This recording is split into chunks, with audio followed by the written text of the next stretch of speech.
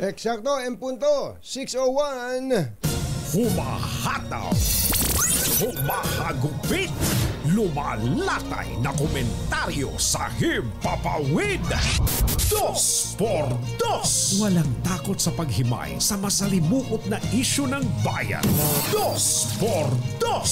Humahataw na mga balita at impormasyon. Dos por dos. Ating damhin, ating lasapin ang hagupit na Dos por dos.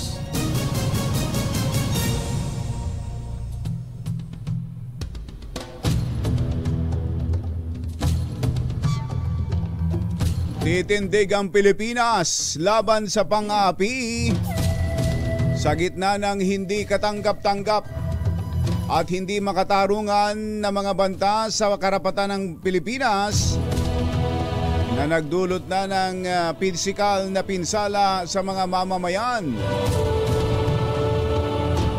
Ito ang buod ng talumpati ng Pangulong Bongbong Marcos sa araw ng kagitingan kasabay ang panawagan sa mga Pilipino na huwag hayaan ang mga mapang-aping dayuhan na maghari sa bansa.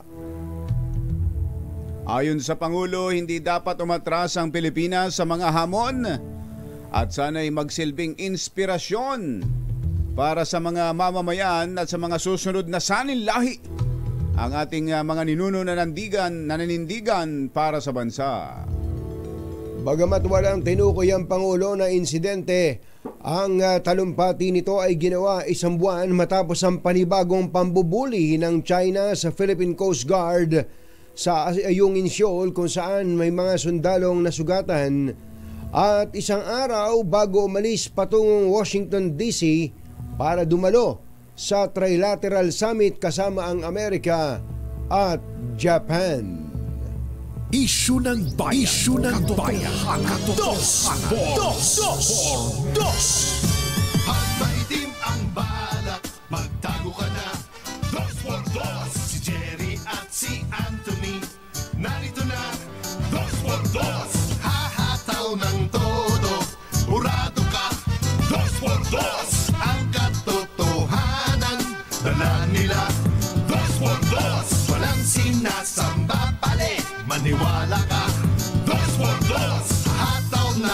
ng gusto, tol. Umasa ka. Dos por dos. Dos por dos.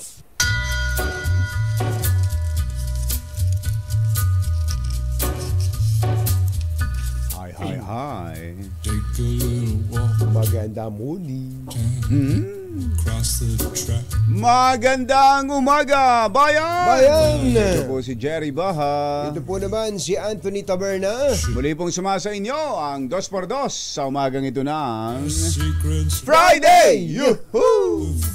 Kumusta kayo mga textmates, mga text partners, mga kapamilya, kapuso, kapatid, kabarkada, mga kapitbahay? Holiday! Holiday Holiday pa ha? rin ha, talaga ha. Mhm. Umuna kong batsero, ngayon ba'y special or regular? Ah, mother, Mother, mother, where is father? Special ba ngayon? Special? Regular? regular, double pay uli. Ah, ah, double pay uli. Oo. So kapag hindi ka pumasok kahapon, ah ganun uli, ganun ulit ang ah, ano doon? Ah, paano 'yon? Paano 'yon? Eh, holiday kahapon eh. Eh, paano 'yon? Paano 'yon? Oh, Holiday, ah, paano holiday, yung ah, mamaya daw ay lilinawin ni Secretary Benny Laguesma yan. Ah, Sige, para ganun. malaman na natin kung ano Tama, talaga. Mm-hmm. Ah, ang ah, ang ah, proklamasyon ng Pangulo Mm-mm. sa April 10, ngayong araw na ito, Mm-mm. ay regular holiday Aba. throughout the country in observance of Idil Fitir. Ayun. Oh, Pero papansinin ninyo, bakit hindi pula sa kalendaryo yan? Sapagkat na inanunsyo ng Pangulo, nakaprint na tong kalendaryo na to. Ayun, itong kalendaryo. Oo.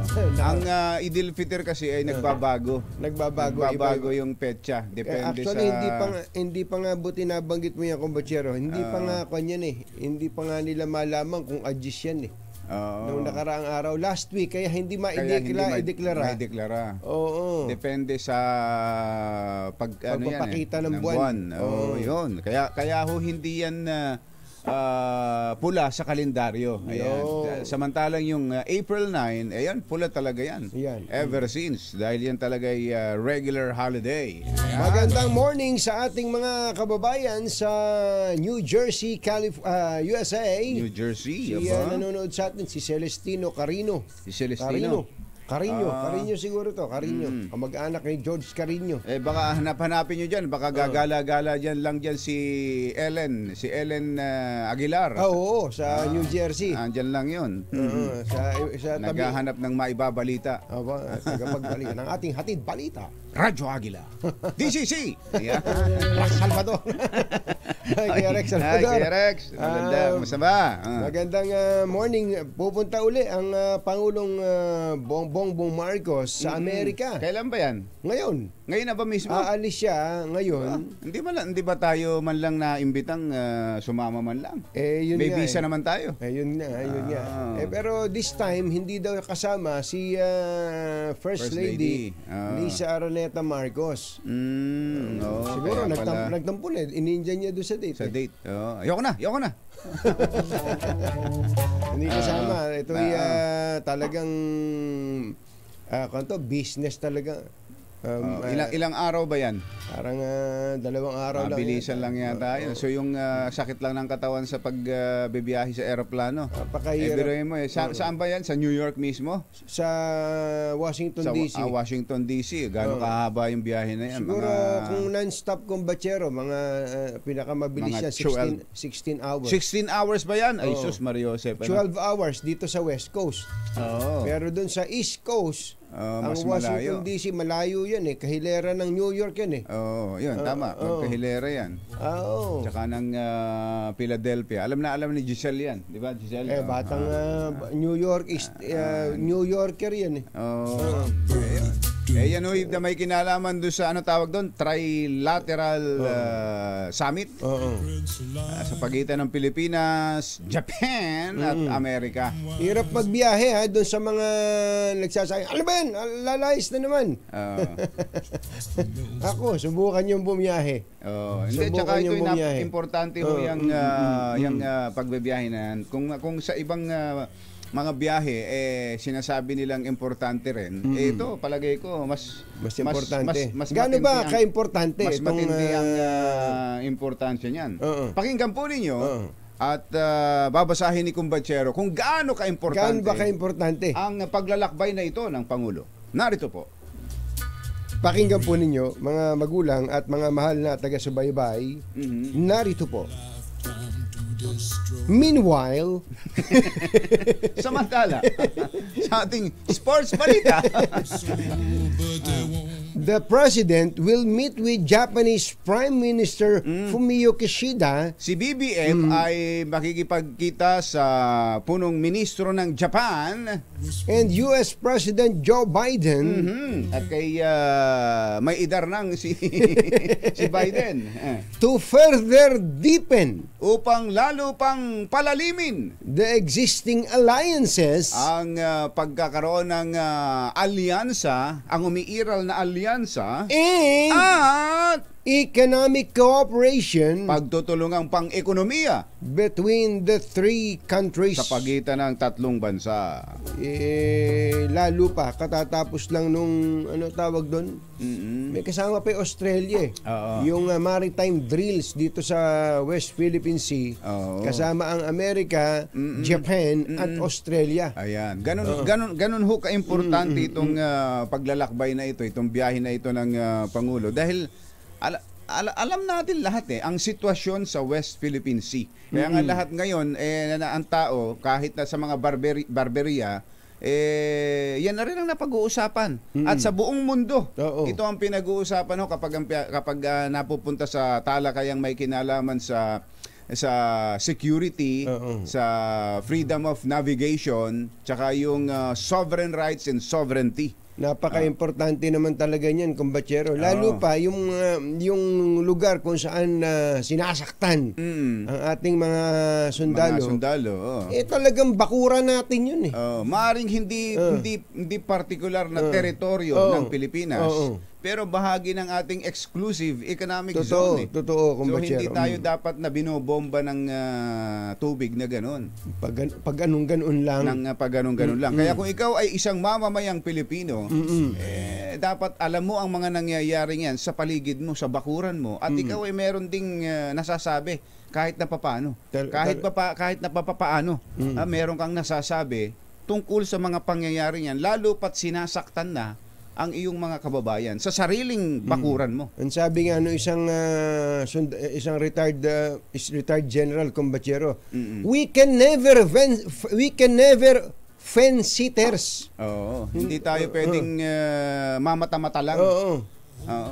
Maging mama, mamata-mata lang at nanonood lang. Hindi pwede. Kailangan kahit man lang sa bunganga, eh meron kang naiaambag. Ang mga kumbatsero ng bayan ng bayan Katanying Jerry Dos Dos Dos So yun, kasi ah, yung, yung terminong we can never be fence sitters, eh kung yun eh, ah, kaya sinabi yun dahil meron ngang mamata-mata lang. Oh, may, yun nga. Para bang meron- para bagang uh, naghihintay lang sa si mananalo. Oo. Doon tayo sa mananalo. Oo, eh, Oo, oo. maaaring yung ibang, Oo, oo. yung ibang bansa na walang kinalaman sa Oo, atin, oo, mm. walang kinalaman dyan sa area ang pinagtatalunan, pwedeng ganon, mamasid-masid lang sila. Pero kapag ikaw ay, ang sarili mong bansa ay involved sa ganon, hindi ka pwedeng ah, ah, mamata-mata lang at ah, wala kang posisyon o paninindigan. Mm-mm. Ah, at hindi ka man lang ah, May kahit kibo. kahit Mm. sa salita Oo. eh walang man lang naririnig sa iyo. Oo. 'Di ba? Kumbatsero. Eh, at pan- pag tinanong ka, sasabihin mo no comment?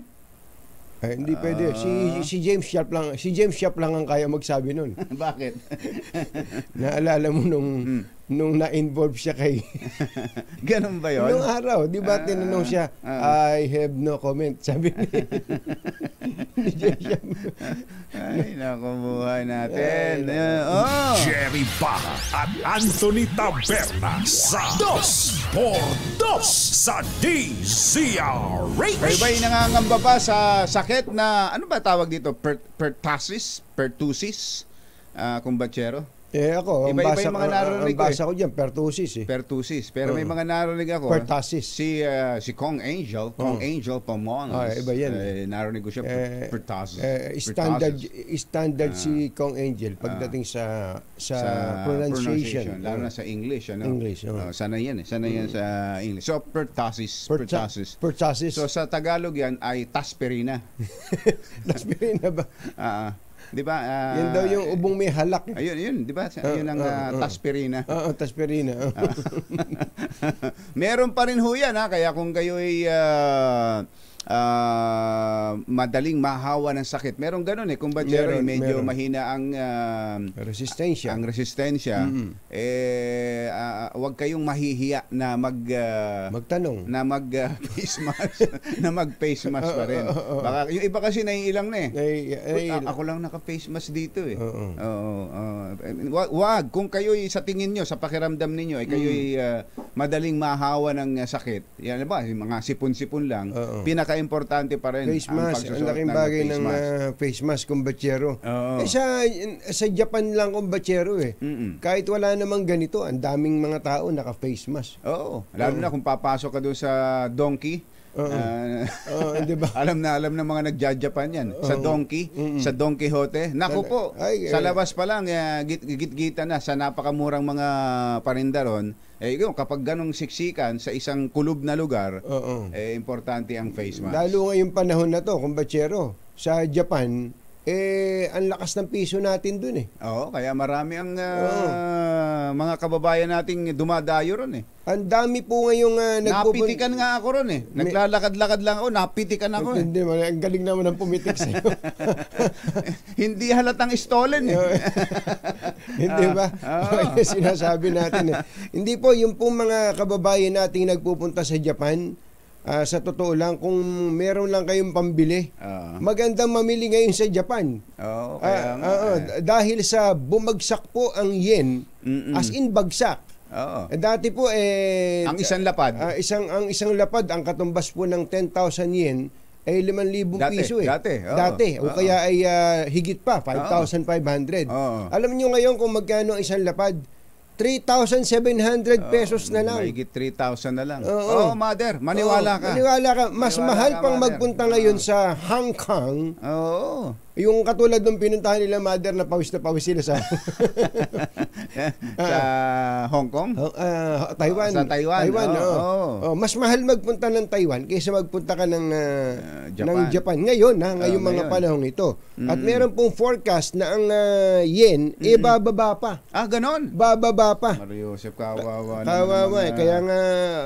ah, Japanese. Kaya pala yung isang ah, nakausap natin doon, eh, gusto na umuwi eh. Na, Totoo. na doon na nagtatrabaho sa Japan. mm-mm. Gusto na hong umuwi eh. Gusto na sumama sa amin eh. Oo. Isilid na lang namin daw siya sa maleta niya.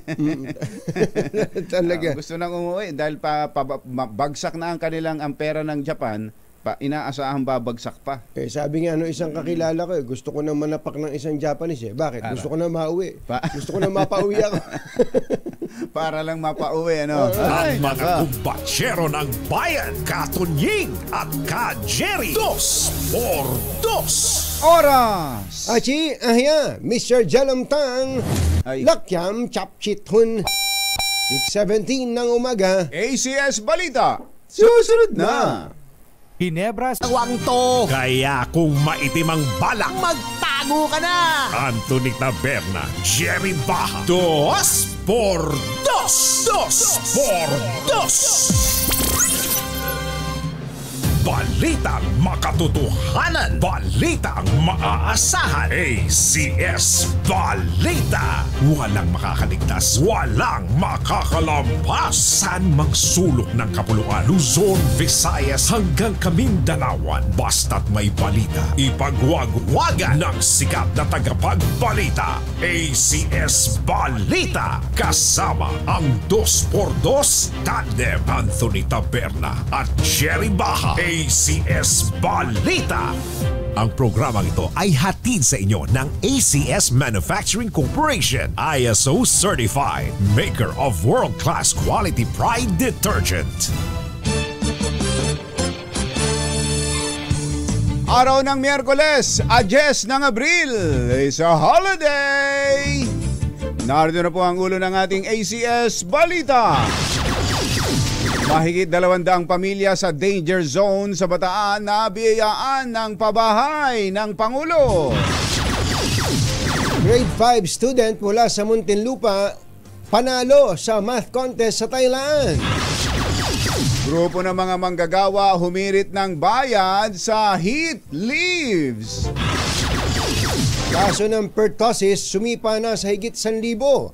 DOH gagamit ng ibang bakuna para labanan ang sakit. Sibilyan nagsuot ng PNP uniform. Arestado sa Paranaque. At mahinang supply ng tubig, nagpalala ng sunog sa Cebu City. Halos 200 pamilya nawalan ng bahay. Magandang umaga Luzon, Visayas, Mindanao. Good morning Philippines! Hello world! Kami po ang inyong mga tagapaghatid balita. Ito po si Anthony Taberna. Ito po si Jerry Baha. At ito ang ACS Balita. alas 6.26 ang ating oras sa detalye ng ating mga balita. Mahigit dalawandaang pamilya na nasa tabi ng Talisay River na isang danger area sa Balanga, Balanga City sa Bataan ang naabiyayaan ng pabahay program ng Marcos Administration. Pinangunahan ni Pangulong uh, BBM ang ceremonial turnover ng Balanga Low-Rise Housing Project sa 216 na pamilya na naninirahan sa danger zone. Ayon sa Pangulo, layunin ng administrasyon na mabigyan ng disenteng tahanan ng bawat pamilyang Pilipino, isang bahay na ligtas, di kalidad at komportable, kaya mahigpit ang kanyang bilin sa mga benepisyaryo na alagaan ang kanilang mga bagong tahanan. Yan, importante yan. Napaka-importanting bilin yon, kumpatsero. Oo. Doon sa mga nagkakaroon na ng bahay, ha, tandaan ninyo, Oo. yung bahay na uh, nabiyaya sa inyo, Mm-mm. alagaan ninyo. Alagaan ninyo. Sinupi ninyo. Ang dami na kasing mga karanasan nung nakaraan Oo. kumbatsero Wag nung unang, ah, nung, inin, nung ah, tinurn over, ang Ah, ganda. ang ganda, Ganda ah. ng pintura, Ah. ma- maganda ang ilaw, malinis. mm. Pagkalipas lang ng ilang buwan, Naku ayun, inang. parang ah, basurahan na naman yung yung compound, Grabe. yung ah, Oo. building. Dapat yan may ano, merong ah, team Property leader. administrator, Oo, may property administrator Oo. tapos eh, sila-sila mismo ang ah, mag-aayos. Yung bang mayroong ah, nakatoka kung batsero. Yes. Dahil kung iaasa mo lang sa kanya-kanyang ah, sariling ah, inisyatiba Oo. na maglinis ng kanilang ah, ano ba, yung tapat yung tapat-tapat lang. Naku po. Nako po. Kailangan diyan may patakaran. Kapag yung tulad sa Valenzuela, binabanggit Ay, mo dati, do, yung uh, disiplina village, Oo, kumbachero. oo, Parang oo. ang tanda ko dun eh, kapag ka, eh, na, na surprise inspection ka, Na marumi. naubod na dun, palalayasin. Layas ka. Parang ganun, dahil hindi naman sa kanya, parang hindi Oo. naman sa iyo yan pa eh. Oo. Oo. Pinatira ka pa lang dyan. Pero maring eh, papunta na ron. Papunta na doon. ng panahon. Kaya sinupin ninyo. Sinupin natin. Oo. Oo. Huwag salaula sa mga sa sariling tahanan. Eh, nako, eh, pasensya na sa mga kumakain ha. Naalala ko tuloy nung nag-cover ako dyan sa may Smoky Mountain. Oh, nako, Di ba merong yan. magandang pabahay dyan? Oo. Abay, pambihirang patis. Eh di wala namang, wala namang elevator eh. Mga 5 floors, 6 floors na, 5 floors yata. Oo. Daan ako sa hagdan. Oo. Naku po, nalang ko po, palibasa yung madilim. Doon na dumudumi yung mga... Ay, ew! Isip-isipin mo, kaganda-gandang proyekto ni dating Pangulong uh, Fidel FBR. Ramos noong Oo. araw yun. Mm-mm. Ilang panahon lang, ang dumi, na- napakadumi. Kaya dapat talaga Natatakutan alagaan. eh, oo. Alagaan po ang ah, bahay nito. Yung maliit Ayan. na bahay, Oo. mas madaling linisin at sinupin. Sinupin na po natin. Ayan, oh. Ayos. Ayan ha. Sa mga taga, yung mga nabigyan ng bahay dyan. At sa mga susunod pa, marami Oo. pa yan. Oo. So, takot-takot ho ang mga sinisimulan ngayong mga housing ah, projects ng ah, administrasyon. Ang bagong pabahay na ito sa Balanga City ay binubuo ng anim na three-story condominium. Ayan ha, Oo. mababa lang yan ha. Ah, three-story condominium type buildings na may labindalawang ah, ah, 27 square units per floor. Ah, yung bawat kwarto. Oo. Na may tig dalawang kwarto. Oo. May kusina, May banyo, kusina, oh. may tubig, at Mm. may kuryente. Ito, ayan. Ayan, pinuntahan Ayan o, ni pinasok Paolo, ng yung, ah, model yung unit. model unit. Kasunod pa si Secretary Ganda, ang ganda ah. Jerry Acosar. Oo. Ah, ang ganda oh. Para ka namang para kang nakakondo. Eh, talaga. Kaya bakit ka mangungupahan pa? Kung pwede namang, ibahay na. Ayo. Ay, hindi, magkabahay na. Mahirap pati naku. Lak, yan po. ah. 6.30 na ng umaga, panalo ang Muntin uh, Lupeño na grade 5 student sa International Talent Mathematics Contest sa Thailand. Obo. Nag-uwi si Antonio Pio Vivo ng San Beda College Alabang ng bronze medal matapos makatapat ang mga estudyante mula sa sampung bansa. Binati naman ni Muntinlupa Mayor Rufy Biazon ang estudyante at umaasa siyang maging inspirasyon ito para mamayagpag din ang iba pang kabataang Muntinlupeño sa academics at sports. Ayun. Una na ring sumikwat ng ginto si ah, Vivo sa math at science yan, contest ano? sa South Korea at Hong Kong at naghari din sa first MRB Taekwondo Cup noong Nobyembre. Matindi na, bata. ha? Hindi lang, Magaling ah, na mental, dito. ha? Mag- tama ka, hindi lang Ah. mental, pati Physical. sa physical, ah, atleta pa. Parang ikaw pala yan eh. Eh, kuhang-kuha mo ako bata. Ah, congratulations, ah, katukayo, si Antonio Pio Vivo. Ayan. At congratulations din sa iyong mga oh. magulang. Ayan siya, oh. Ayan, Mm. oh. Oh. Eh, Mayor, ba, meron bang uh, matatanggap yan? Ah, meron, siyempre, si dapat, ah, dapat lang. Mayor pa. Oo. Eh, yung tatay nitong uh, CPO Vivo, kamukha Ah. ni Florante Rosales. Ah, Pag nakatangilid. Ayan, ang galing mo, bata! Panalo ka. Alas 6.31 ang ating oras. Mahupay nga aga, mga kasangkayan, mga kabugtuan. Mata na ka mo, gising na. Hiniling ng isang uh, labor group na baguhin ang no work, no pay arrangement ng Department of Labor and Employment para sa mga manggagawang gustong mag-leave of absence dahil sa naranasang init ng panahon.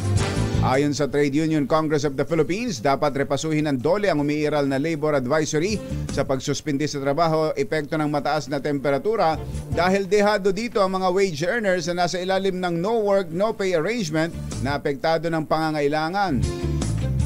Sa pagkain ng kanilang pamilya. Gate ni TUCP Vice President Luis Corpal dapat ay ah, Coral dapat magpatupad ang gobyerno ng ah, intervention na kapwa pakiki, ah, kapakipakinabang para sa mga employer at siyempre sa mga empleyado. Ayun. Alas 6.32 ng umaga, maayapayabak ke kongan eh, mga kabalen, gising na ah. Uy, tinatanong nitong si eh, Nanay Auring Ramos, Nanay Auring Ramos, kung totoo ba yung narinig niya sa atin kanina na ubus na bakuna sa, sa pertoses. Oo, Oh, pertussis. pertussis. Oo. Oo. Eh, ito po, Eto, Nanay Auring, nyo. Nanay Auring Ramos. Mm. Balak po ng Department of Health na gumamit muna ng alternatibong bakuna kontra pertussis habang inaantay ang biniling 5-in-1 vaccines. Ito po ang sinabi ni Health Assistant Secretary Albert Francis uh, Domingo sa gitna ng ulat na nagkakaubusan ng pertussis vaccine sa bansa. Sinabi ni Asik Domingo na mabisa rin naman ang DTP o diphtheria, tetanus and pertussis vaccine na plano nilang gamitin habang hindi dumarating ang binili ng DOH na 5-in-1 vaccine.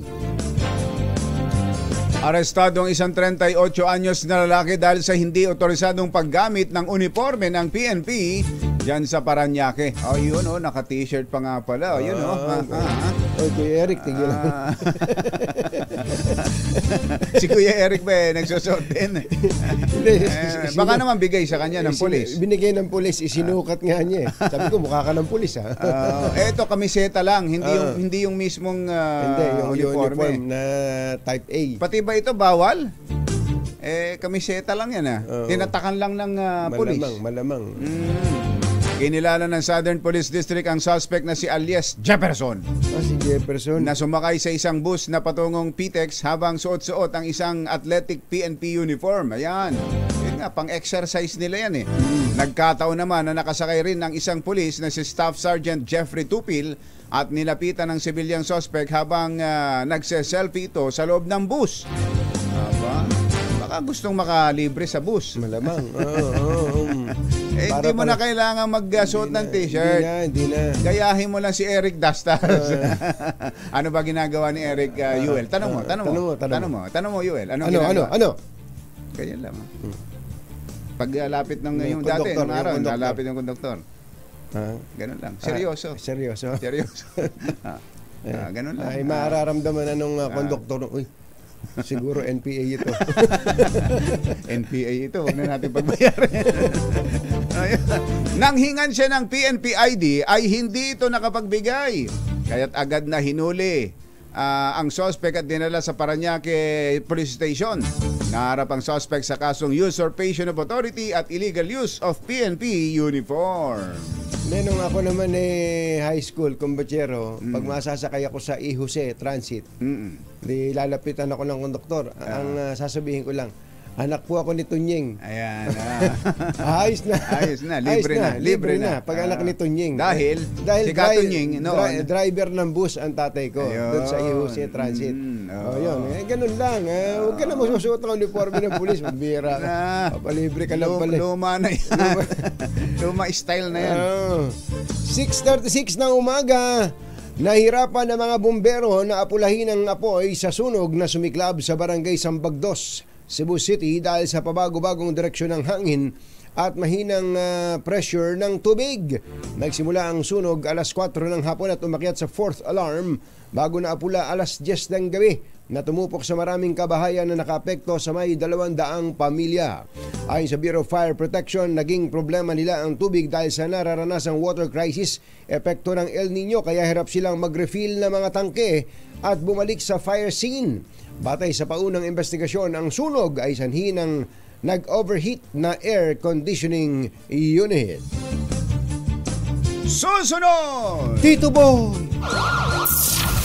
Metro Manila ngayon. Yun. Yun, sana. Andito pa Yuel eh. Dito Oh, eh. Gandang, ah, gandang pi- pisilin eh. Oh. ang tabianan po ang mga situational report ng ating mga RH reporters sa Metro Manila. Ngayon! Lalo pat ngayon ay holiday. Idil Fitir ng mga kababayan nating uh, Muslim. Yan at iba pang mga balita sa pagpapatuloy ng ACS Balita. alas 6.37. Walang balitang makakaligtas, walang balitang makakalampas, saan mang sulok ng kapuluan. ACS Balita! ACS Balita! Ang programang ito ay hatid sa inyo ng ACS Manufacturing Corporation, ISO Certified. Maker ng world-class quality pride detergent. Hi, hi, hi! Maganda morning! Anong araw today, kumbachero? Today is Laundry Day, Friday! Yuhu! At pag Laundry Day Friday, all you need is Pride Washing Machine Detergent. May triple stain away formula kaya tanggal ang makapit, madikit, malupit na dumit man siya kaya easy ang labada. Ah, kaya pala mula noon hanggang ngayon, all you need is Pride! All you need is Pride! ACS! Kasama ang 2x2 Tandem Anthony Taberna at Jerry Baha. ACS Balita.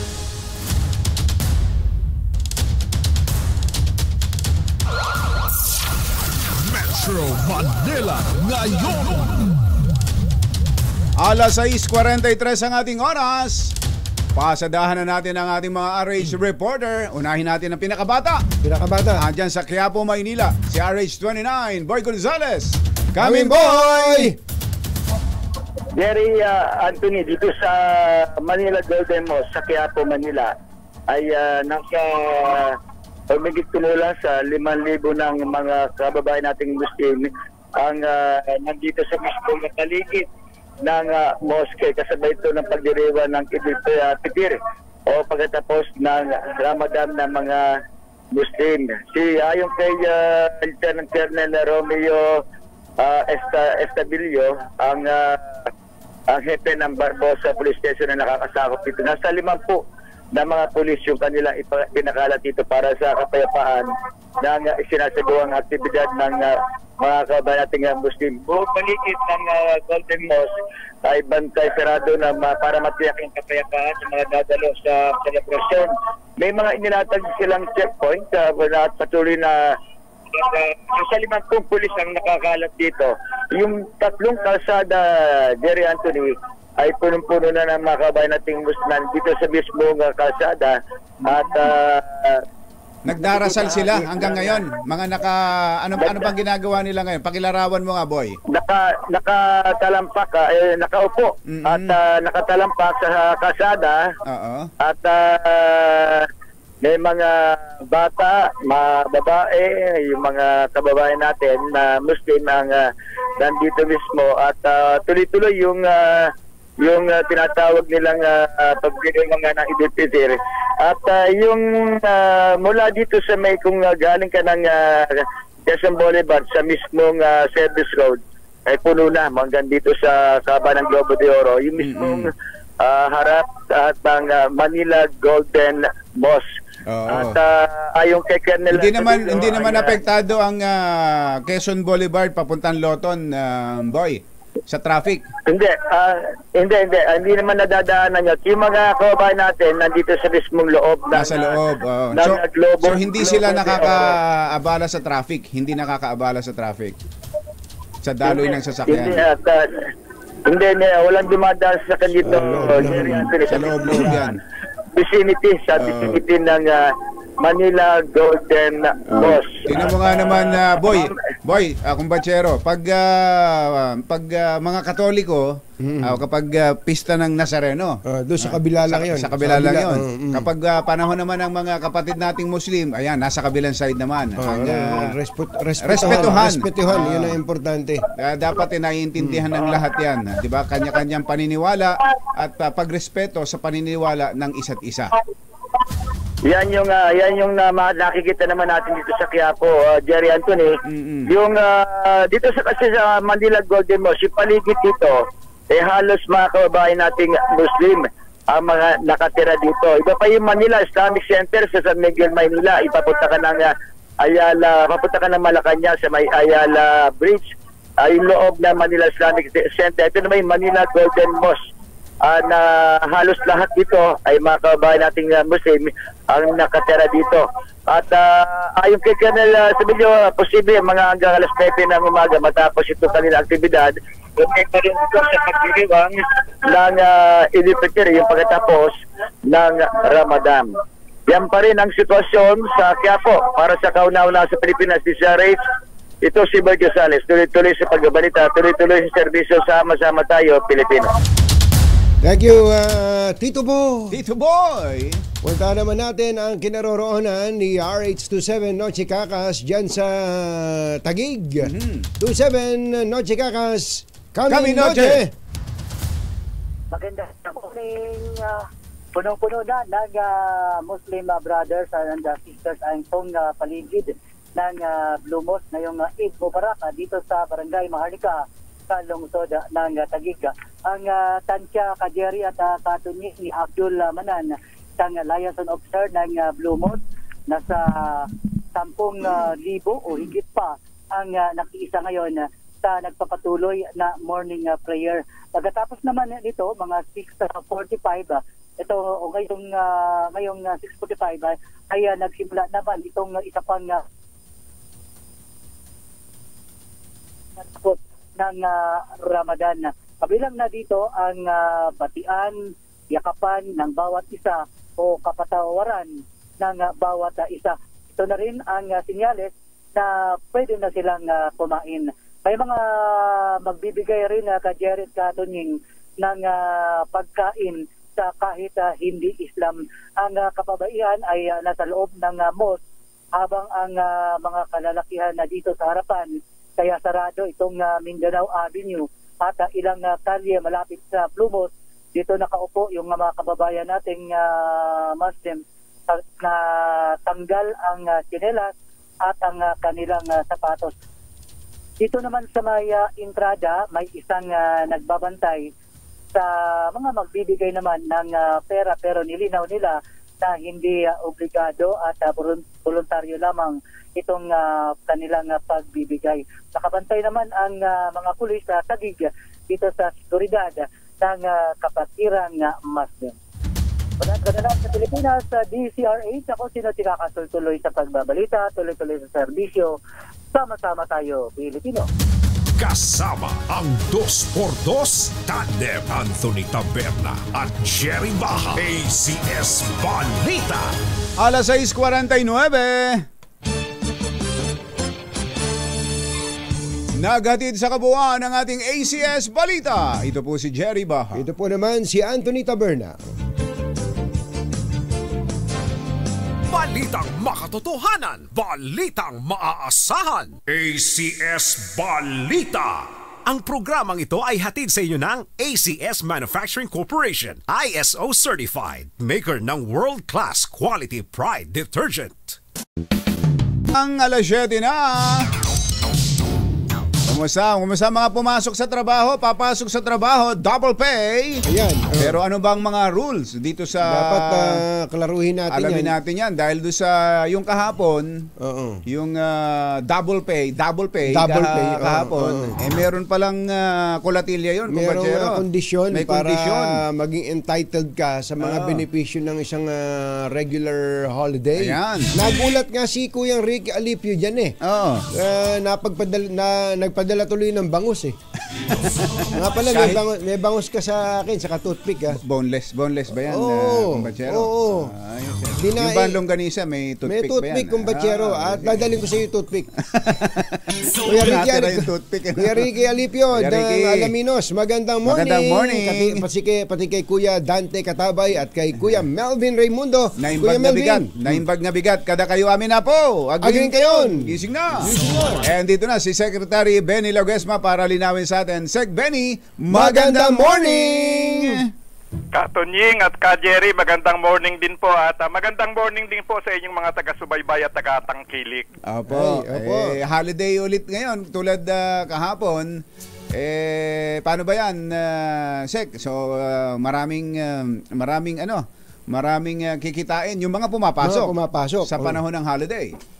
Opo, at ah, do- ano rin po ngayon, regular holiday din batay Ayun. sa proklamasyon. So, pag hindi ka po pumasok, meron ka pong entitlement na 100%. Mm. At kung pumasok ka po, 200% ang Ayan. ah, dapat na ibayad sa'yo. At kung napakasib, napakasipag mo po, uh, Kadtonying at Ka Jerry, Nag-overtime pa. nag-overtime ka pa, may Oo. 30% pa pong patong Aba. premium pay po. Ba't na dito sa DCRH po, uh, Sec Benny, pag nag-overtime kami, sinisita kami ni Mother Malu dito. Oh. Ba't Aba. ganun? Ay, baka Kadtonying, baka ayaw kayong bayaran ng premium pay. Kinaka, Nagtitipid. kina, kinakagalitan ho kami. Ah, bawal daw ang overtime. sa programa pala sa programa. Sa programa, oo. Oo. teka muna, uh, Sec Benny, yung, yung kahapon, yung ah, araw ng kagitingan, Martes, eh pakipaliwanag nyo ba, pa, nga, ba dahil parang may narinig kaming may condition pala yon yung ganong ah, si- ah, ah, merong ah, araw na, si, na pinanggalingan na may pasok. Oo. Tama yun, na Ka Jerry at Katunying. Para po ma-entitled ka dun sa 100% kung hindi ka papasok ka, kung hindi ka pumasok kahapon, Mm-mm. dapat po yung last working day na yun nga po ay lunes, ay ah, dapat pumasok ka. O kaya naman po ikaw ay merong approved leave of absence. Mm. Ah, yun po yung ma- ano na po yan, yan po yung ah, talagang ah, nakalatag na regulasyon para magkaroon ka po ng ah, entitlement sa 100%. Ah, para po Oo. yun ay ah, ah, pagbibigay din po siguro ng konsiderasyon sa atin po mga employers na ang trabaho ay kanila ding may schedule at ah, hindi naman sila rin nag- nagkakaroon ng ah, epekto sa kanilang operasyon. Yun eh pag ah, working day yung ah, preceding day. Ah, da- ah, ah, tama. yung pinanggalingan, Yung pinanggalingan. Kailangan Ah, eh yeah. kailangan eh magpaalam ka ng mas maaga na ikaw ay hindi papasok sa araw na yon para makuha mo yung benepisyo ng holiday na susunod na Tama, araw. tama yan, ka, ka Jerry. Mm-mm. Sakto po yung inyong nabanggit. Ah, eh paano po kung ah, bigla na lang ah, umabsent? Ah, Ah, nagkasakit, nagkasakit-sakitan. Ay, nagkasakit-sakitan. Ano ba yan? Oh, ah, sumakitan tiyan. Oh. Ayan, oh. Eh, eh, yun po kung, ano, basta wag lang po, si, mahirap po kung nagsakit-sakitan, katonying. Apo. Ah, ah, kung nagkasakit po talaga, meron naman po yung medical certification. So, mag, magiging katibayan po Ayun. yan. Ayun. Na dapat ay ma-entitled din siya sa holiday pay dahil hindi naman po niya ginusto Oo. na lumiban ng araw before the holiday. Ayun. Uh, kumbaga, siguro ang pinaka hindi magiging entitled sa benepisyo ng holiday Mm-mm. ay yung nag-awol, ano? Nag-awol. Walang- walang, ah, walang paalam. paalam, ah, secretary, no? Yes, Katunying, ah, kung hindi po nagpaalam. Kaya nga, lagi po tayo nagpapaalala sa ating mga manggagawa na Mm-mm. pwede naman po tayong magpaalam, ah, Oo. lalo na po kung meron po tayong nararamdaman. At ah, dapat naman po, ah, in Mm-mm. return, ang mga employers naman po siguro ay wag naman pong uh, ika nga paghigpitan dahil ah, mahalaga po yung kalusugan at kaligtasan ng ating mga manggagawa. Meron po kasing magagaling uh, secretary, halimbawa eh, last week pa lang, sinabi niya na magkakasakit ako sa lunes kasi ipit. kasi ipit. Nakaplano sa sarili niya. Nakaplano sa sarili niya. Pero Mm. im- importante talaga, gaya ng sinabi ni Secretary, i-inform mo ang employer mo para, Para yung makapagplano. Oh, yung Mm. pati yung employer Oo. makapagplano, may ipa, pwedeng ipalit. Ah, di ho ba? Ganun yun. na Yes, sa- tama yung ka, Jerry. At Ah. uh, yung po nagplaplano ng ah, nagkakasakit at ah, lagi po yung nakikita ng employer, Oo. eh, medyo kahina-hinala na po yung kanyang lagi siyang nagkakasakit pag malapit na po ang holiday. may pattern. May, pa- may May pattern. pattern, yes. Ah. Saka yung pong ah, sakit ay laging eh, pirming LBM. Opo. Ah. yung kasi yung kasing LBM di mo hindi mo nakakailanganin ng kanon eh. Ng, ah, medical certificate. Pag sinabi mong may lagnat ka, ah. baka hanapan ka ng ah, medical Ah. certificate. Hindi eh. hindi ho pwedeng idahilan secretary na oh may, may leave naman akong ah, vacation leave na 15 days tsaka sick leave na ah, 15 days eh. Ka, Jerry, nangyayari po yan. Oo. Kaya kung ah, considerate po naman at uh, kumbaga sa ano eh, medyo malawak ang pangunawa at pagpapasensya ng employer, Mm-mm. i-charge na lang po siguro yung kanyang pagliban sa Mm-mm. kanyang accrued leave, no? Pero minsan po, ah, kaya nga tayo nagpapaalala din sa mga manggagawa, eh, pag malasakitan po natin yung ating trabaho dahil ah, Mm. yan naman po siguro ay ah, ah, ine-expect ng ating mga employer sa atin na nang sa ganon, bumalik din yung malasakit ninyo sa malasakit naman ng mga employer. Ayan, tama yan. Pero ito, tanong, eh, Secretary, hindi ko kasi namin alam yan. Kami umabot sa edad na 35. Hindi namin na narinig yung kondisyon na yan. Yan ho ba'y uh, ipinataw nyo lang nung kayo na ang maging uh, labor secretary? Hindi naman po. ah, ah, hindi, po. Sabi siguro, Nadatnan, nadatnan ko na rin po yan. Ah! medyo ma- medyo Apa. matagal na rin po yan na ano na patakaran. Apo. Ah, ang ah, akin lang pong pag, pagkaunawa o pagka-interpret yan, eh medyo dahil nagbibigay ka ng ah, pakinabang sa isang araw na hindi pagtatrabahuhan, dapat naman sana ay parang merong ah, hindi man po matatawag na conditionality, ay meron para hong ah, ano balik ah, balik din na ah, ika nga ah, ka- malasakit doon sa iyong trabaho at ah, may- meron naman pong ah, option ka eh. Oo. pwede kang pumasok, pwede kang mag-leave of absence at Oo. ang ah, bottom line lang, sana wag mapinsala yung operasyon dahil baka very critical o napaka-importante ng trabaho mo, Mm-mm. eh bigla ka na lamang liliban at ah, maapektuhan ang buong operasyon ng inyong kumpanya. Oh, halimbawa, eh, gagawa ng tinapay. Ayan, oh, Oh, importante. May mga delivery kayong Oh, kailangan oh. i-comply. Tama, Oh. tama yun, Secretary. Eh, Kumbaga, protektado ang empleyado, protektado din ang ah, hanap buhay negosyo o yung ah, employer, ano? Yes, Kajer, ah Katunying at Kajer. Kasi ka, for example, ah, dispatcher ka. Mm-mm. Ah, ikaw ang ah, nakakaalam kung paano ang ah, s- ah, sistema. Bigla ka na lamang lumiban, eh maraming nag-uuwian. So, kailangan talaga bigyan mo rin ng informasyon o notifikasyon ang iyong ah, employer. Nang sa ganun, yung nabanggit kanina ni Kajeri, makakuha ng replacement ng substitute mo nang wag naman mapinsala yung negosyo. Opo, eh ito, ah, holiday ulit ngayon, magkasunod. May condition pa ho ba ito, Secretary? Hindi na, yun lang una, yung sa una lang. Sa Oo. una. Ah, ngayon, pagka hindi ka pumasok, 100%. Pag pumasok ka, 200% din. At uh, Pag nag-overtime. napakasipag mo, ulitin ko lang. Nag-overtime ka uli. Oo. Wag lang daw yung programa, baka magalit ang management ng ATRH. Oo. eh ito, magkasunod na holiday, adjust ngayon, baka kako ang kondisyon naman ito, yung susunod na araw. Ah, hindi, Kailangan wala. pumasok. Kailangan eh, Pumasok ka, pumasok ka. hindi ka napapasok. Walang ganun. Palagay ko naman siguro, ah, mer meron mga gumagawa din ng ganyan kasi parang nanghihinayang nasa gitna na ng ah, linggo eh. Aha. Ah, ituloy ko na kaya, no? Pero Oo. ah, again, ang ah, pakiusap din lang sa kanila, ah, magpaalam din lang, ma- ma-notify ang kanilang ah, Yun, ang employer. importante. ah, at ah, sa tingin ko naman, hindi naman sila pagdadamutan ng employer, lalo na kung matagal na silang hindi nakakapagbakasyon, bitin naman yung limang araw na pero bitin pa rin. So ituloy Oo. na siguro. Ganun lamang ang ah, aking pakiusap sa mga manggagawa nang sa ganun makapagplano rin ang kanilang employer. Secretary, ito pong ah, mga manggagawa daw eh, humihirit ng bayad sa heat, ah, leaves, ang tawag eh. Heat leaves. Ah, ka, ka, Tunying, ka, Jerry, sa, sa ngayon po ang uh, ika umiiral na patakaran, meron naman po silang ah, tinatawag talagang regular break sa pagtatrabaho. Opo. Ah, pwede sigurong matingnan doon kung dadagdagan o i-adjust dahil ah, ang ka- kalimitan po one, one hour yung kanilang break ah, Yes. sa meal at saka yung merienda po ng umaga saka ng hapon. Opo. Ah, ngayon, dahil ah, nakikita natin medyo mainit, na kasama po dun sa aming advisory, ka Jerry at Ka Tonying, yung ah, tignan po yung adjustment ng kanilang ah, rest breaks. At ah, kung yung po naman kanilang ah, lugar na pinagtatrabahuhan ay ah, mas mainit kumpara po doon sa mga nagdaang araw, baka tignan po yung pagdadagdag ng ventilasyon.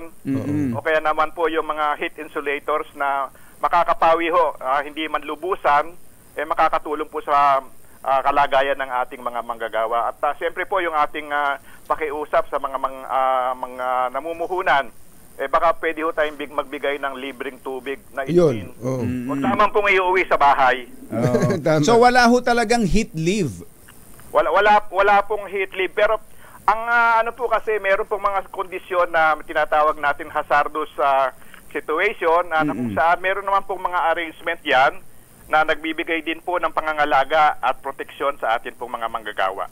Pa- hazard pay, di ba pwedeng parang hazard, ah, mi- ah, i-consider na hazard yung ah, yung sobrang init ng panahon habang nagtatrabaho? Pwede pong tignan nyo na sa ganong klaseng ah, pananaw dahil ah, mahalaga po yung ah, ang workplace ay hindi unsafe, hindi po siya unhealthy. At ah, kung ito po ay magpo-post ng danger, ah, hindi lamang po siguro sa kalusugan at kaligtasan ng ating mga manggagawa ay magkakaroon din po siguro ng ah, pangmatagalang epekto doon sa health ng ating mga ah, workers. Dapat po siguro makonsider din yan. No? Hazard pay, tama kayo doon. Hal- hal- lalo na lalo na secretary, halimbawa yung mga piyon, mga Mason. mason, Mm. eh Yes. habang mainit, eh yun ang uh, gusto k- kailangan uh, ibuhos yung semento para madaling uh, matuyo eh. Ta- tama yon ka Jerry at Apo. Katunying. Kaya nga po nung ah, ako po ay ah, naunang naging ah, kalihim nung panahon po ni Pangulong Era. Grabe, ang tagal na nun. Opo, isa ang pinakauna pong aking ah, 37 na po ako ngayon. Opo. Ang una pong ah, guidelines na pinalabas natin may kinalaman po sa health and safety sa construction industry.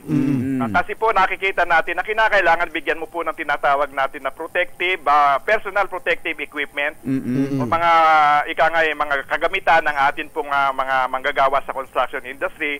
Kasama na po dyan yung pagkakaloob ng sombrero, Oo. kailangan po merong salimin na medyo may prevention po sa ultraviolet rays at ah, siyempre po yung angkop na pananamit ah, kung ikaw po ay nasa labas, nasa init. Actually po, Secretary, pagka tinitingnan natin yung, yung kung, kung, kung ating susukatin yung hirap ng trabaho ng ating mga manggagawa, isa sa pinakamahirap na trabaho, itong maging construction worker eh. Kaya nga may nakakausap po tayo sa iba, kaya sa ibang bansa, binibigyan ng premium yung trabahong ito. Kapag ka construction worker ka, mas malaki sweldo mo. Dito sa atin, pag construction worker, ikaw yata pinakaapi sa swelduhan. Eh, ka- Kato Jing, yan siguro ang dapat natin talagang pinag-uukulan ng pansin. Kasi Oo. ah, bagamat tayo nandun po sa ah, period o sa era ng ah, technological advancement, meron po talaga mga trabaho, kagaya po ng nabanggit nyo, na manual, na kailangan po siguro bigyan din natin ng mahigpit na o ma- masusing konsiderasyon Mm-mm. dahil hindi naman na talaga napakadali ang magtrabaho sa init ng araw Mm, at yung ginagawa talaga. po ng mga piyon, yung mga ikangay mga ordinaryong ah, construction worker, dapat po meron din tayong pangangalaga sa kanilang kalusugan. Eh. Yun, yun nga po ang nakikita natin kung minsan hindi po napagbibigyan ng uh, ikangay karampatan na pangangalaga. At ah, medyo kinakailangan din siguro, yun nga ang ating panawagan sa mga employers, pati po yung pag-re-register sa kanila sa SSS, Ayan. Yes. Oo. dahil po yung Importante uh, yan. kung nagkaroon po ng uh, ikangay uh, hindi naman natin gustong mangyari, nagkaroon ng sakit o pinsala, at least meron pong uh, makakatulong sa kanila na benepisyo galing Mm. po naman na pagbibigay ng social protection po sa kanila. Opo. Eh kayo po ba, secretary, nag-holiday din ba kayo? Eh, eh, kagaya nyo, hindi rin ako nag-holiday eh. Trabaho pa rin. Ah, kasama ba kayo? Sasama ba kayo sa pag-uwi dun sa atin, sa Amerika? Sasama po ako sa paghahatid. Okay. Secretary, Secretary, salamat salamat po. Maraming maraming salamat, Katunying, Ka Jerry, at ingat din po tayo sa atin pong pagtatrabaho. Mabuhay po ang inyong programa. Thank you so much si ah, Secretary ah, Benny Laguesma ng Department of Labor.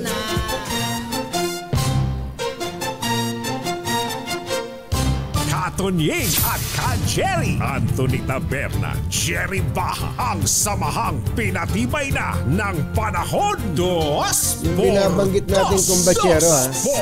dos. Na yung mga mabibigat ng trabaho, dapat ay may premium eh. Hindi yung ikaw na nga ang pinakamahirap ang trabaho, ikaw pa Oo, pinakamaliit ang sweldo. Tama, tama. Ah, di ba dito Yan, tayo mag- magpunta ka sa construction, may maraming mga construction company ang nagpapasweldo ng below minimum Mm-mm. sa mga construction workers. Samantalang sa totoo, eh dapat eh sila nga yung Sila mas yung malaki yung ah, yung ganansya, Kaya di ba? mga construction Oo. workers natin, kapag may pagkakataon lang, naghahanap ng ibang trabaho sa, abroad. eh. Sa abroad kasi pagpunta mo sa abroad, Malaki ang uh, sweldo nila. ang laki ng sweldo. Yung kwan lang, Eh di ba ah, tama nga yun ah, itong mi- yung kung ano yung mismong kainitan, Oo. doon sila pinagtatrabaho eh. Totoo, eh, yung binanggit mo kanina, eh kasi mas mabilis matuyo semento noon eh. Oo. Doon sila nagbubuhos. Mm-mm. Doon sila naghahalo. Tapos pag gabi, kapag Oo. gabi gagawa, eh Oo. madilim, magastos ang ah, gagawa, gagamit pa ng mga ilaw-ilaw. Oo. So kokonti lang yun kung kailan kung inaapura yung trabaho. Pero ang bulto talaga ng trabaho Mm. Sa sa, kainitan, araw. sa kainitan. Sa kainitan. Ayun, eh pero kung babawasan siguro ni ni congressman Mm-mm. yung ah, tongpats, yung ah, SOP, Yun lang. baka Ah. makapagdagdag yung mga construction worker Eh, ng yung mga- sweldo, ay, construction companies doon Ah. sa kanilang mga empleyado. Oo, Mga tama ganun. yun. Eh, paano Oo. kung si congressman mismo ang contractor na? Eh, congressman, bawas-bawasan mo naman yun. Dapat wala nang uh, tongpats. Wala nang tongpats May kita na eh. Oo. Sa'yo na yung kita eh. Ilan, ilan daw ngayon ang ah, mambabatas na kontraktor? Nako. Ilan hindi yung mo- bilang nitong nakaraan? Hindi mo na mabibilang, hindi mo hindi kakasya daliri mo sa paa at kamay. Mamaya, itanong natin kay. COMELEC Chairman George Garcia. Palagay ko eh, may alam siya.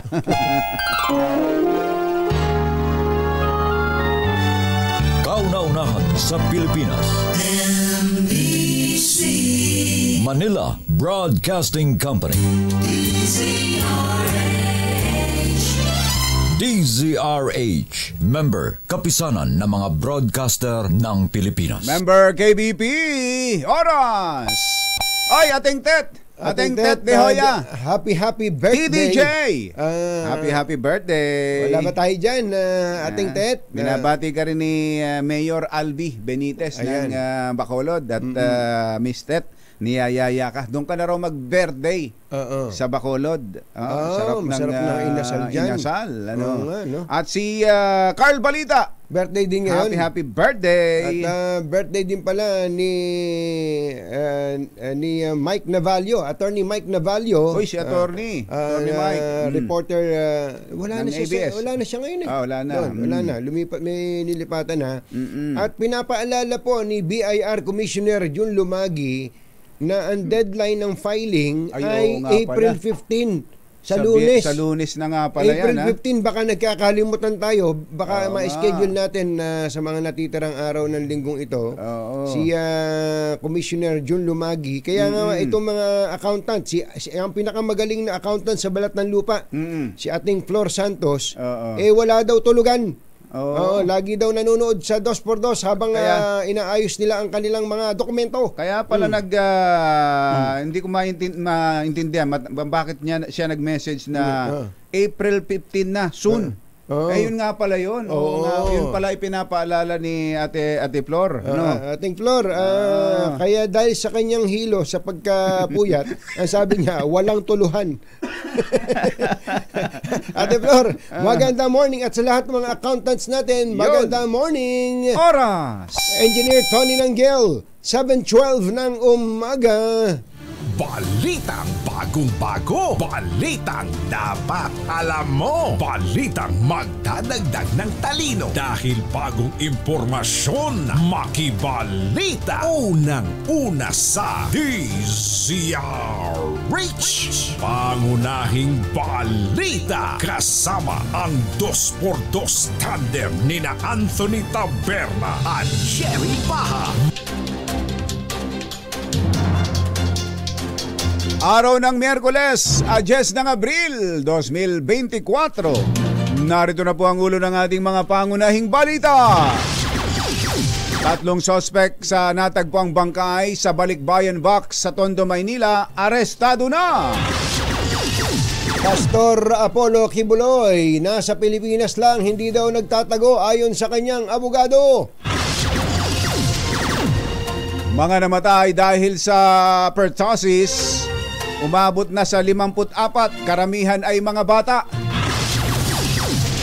Kaso ng cybercrime tumaas ng mahigit 20% ngayong taon. Pagbabalik ng mandatory ROTC sa mga paaralan, suportado ng mayorya ng mga Pilipino. Labing dalawang lugar sa bansa nakapagtala ng Dangerous Heat Index kahapon. Magandang umaga Luzon, Visayas, Mindanao. Good morning Philippines. Hello world. Kami po ang inyong mga tagapaghatid balita. Ito po si Anthony Taberna. Ito po si Jerry Baha. At ito ang Pangunahing balita.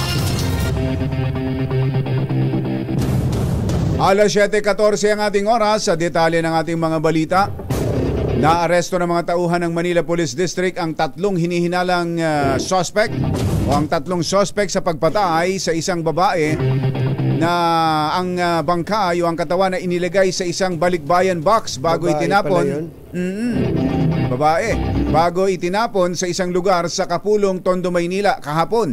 Ayon kay Police Major Romel Anisete, Chief ng ah, MPD Criminal Investigation Section, una nilang naaresto ang courier na si Ray Mark Insipedo na siyang nagtapon ng balikbayan box sa kahabaan ng Kapulong. Ang courier naman na nagturo sa dalawa pang suspect na sina na kinilalang sina William Garoso at uh, Rasolier ah, Pajarillo tiyuhin ng ah, girlfriend ni Insipido at siya umanong utak sa krimen.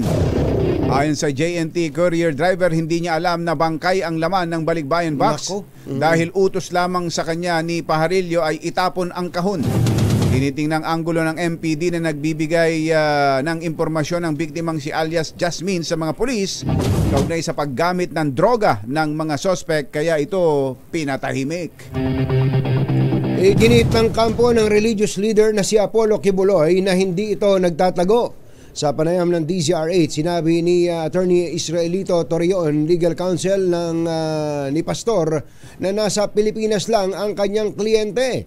Ayon kay Attorney Torion, bago pa man ilabas ang warrant of arrest ng Kongreso at Davao uh, Regional Trial Court, eh meron na silang strategy I can confirm na dito pa siya sa Pilipinas. Pero kung saan talaga yan, di ko ma-check kung saan talaga. Pero nagsisik pa rin ho siya sa inyo ng legal advice as to what to do. Through, yeah, through representatives po. Lately, after nung na-issue kasi yung ah, warrant of arrest ng, ah, ng Senado, ah, hindi na kami nagkausap ah, personally po. Yun po ang totoo. Pexman. Yan po si uh, Attorney Israelito Torion, abogado ni Pastor Apollo Kibuloy. 7.16 ang ating oras. Puro bata na wala pang limang taong gulang ang ah, kabilang sa 54 na namatay sa whooping cough o pertussis sa Pilipinas. Ayon kay Health Assistant Secretary Al- Albert Domingo, 77% rin ng kabuang 1,112 kaso ng ah, pertussis ay ah, below 5 years old. 4% lang sa mga kaso ay nasa 20 taong gulang pataas. Patuloy namang tumataas ang ah, pertussis cases at ah, limang rehiyon o sa limang rehiyon kabilang ang Eastern Visayas, Cagayan Valley, Caraga. Central Luzon at Cordillera Administrative Region. Una nang sinabi ng Health Department. Una nang sinabi ng uh, Department of Health na paubos na Mm. ang uh, pentavalent vaccine sa bansa at pinangambagahang uh, magkaroon ng shortage sa buwan ng Mayo.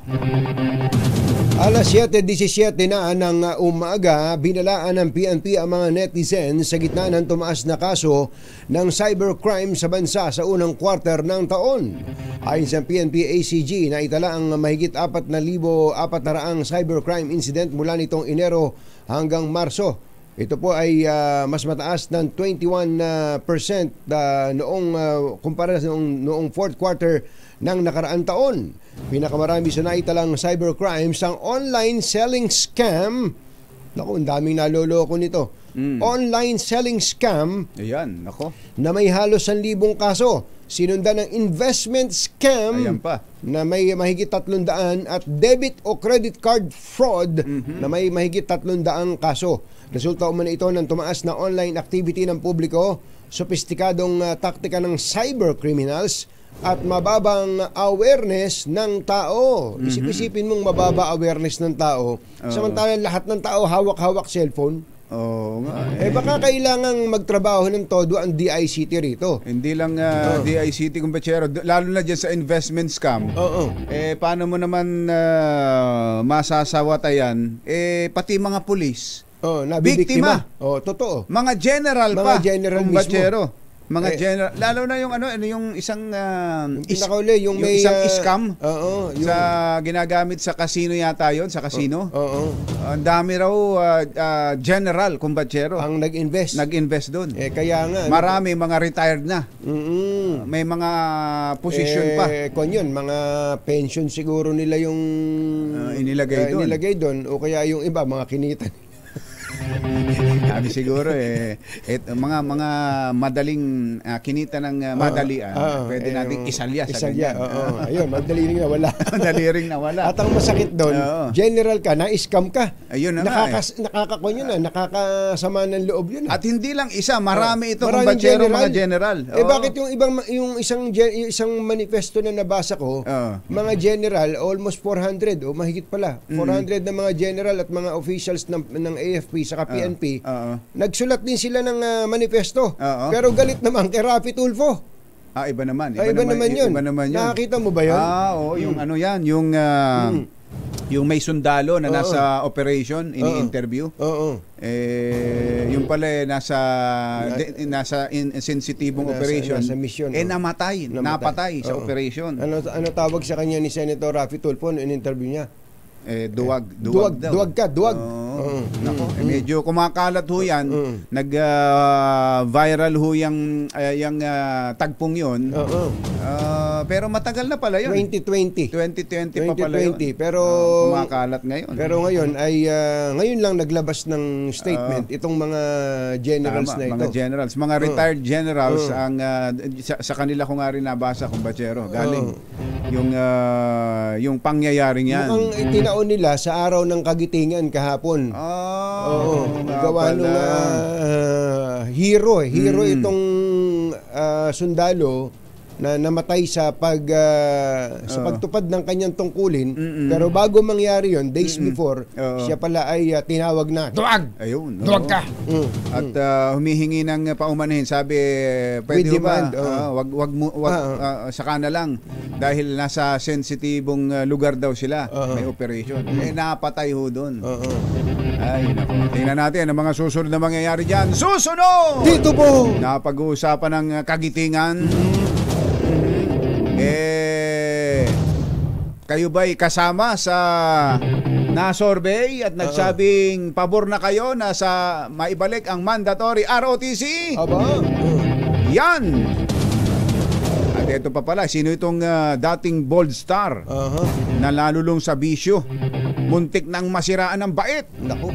Pero ngayon ay nakaka-recover na at unti-unti nang bumabalik sa normal na buhay. Yan at iba pang mga nagbabagang balita sa pagpapatuloy ng alas 7.22. Muna at mga bagong balita sa DZRH. Pangunahing balita. Alas 7.29.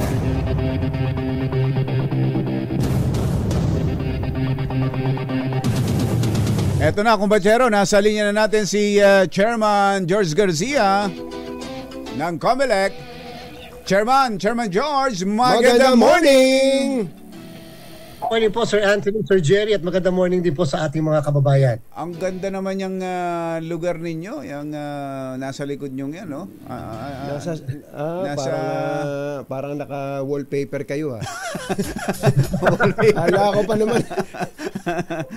Noong una, akala ko nasa loob talaga kayo ng simbahan eh. Oo, eh, di ba? Library po yan, library. Library. Ah, Jerry, ka, ka, ka, tumingin po. Chairman, me- meron na pala tayong ah, meron na pala kayong napiling ah, contractor para do sa transmission.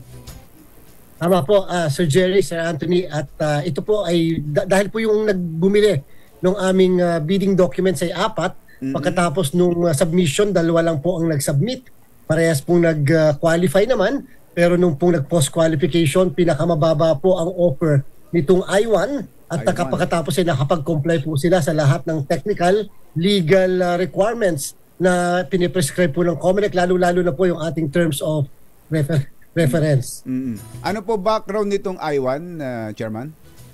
Um, ma- maayos naman po dahil tiningnan po ng mga technical working group namin, pati SBAC yung kanilang ah, kanilang mga SEC registration, pati yung mga experience po patungkol sa transmission, patungkol din po sa, alam niyo po kasi ang kinakailangan i-set up natin dito, yung tinatawag na telco exchange. Ibig sabihin, kung halimbawa, pasensya na Sir Anthony, Sir Jerry, yung Globe at saka Smart, ah, hindi po kasi siyempre pwede silang makonect ng sistema nila dahil magkakaiba yung kanila mga system.